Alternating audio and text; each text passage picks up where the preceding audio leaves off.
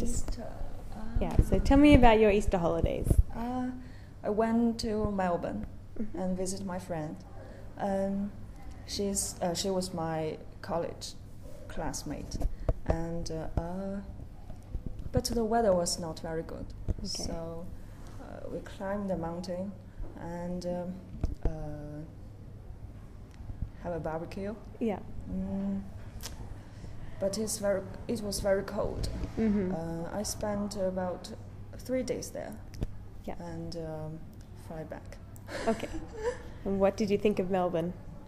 Um, I think it's very beautiful.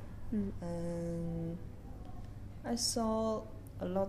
I saw a lot of uh, artists there. All right. Mm, I think that's fantastic. Yeah. Mm, I didn't see much. I didn't see many artists there uh, here in Sydney. Right. So I like. I, I love Melbourne. I, I like that city. Okay. Thank you.